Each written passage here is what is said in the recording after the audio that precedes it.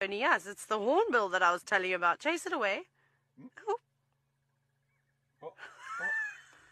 Oh, Has it just pretended to be dead? yes. Oh, that was amazing.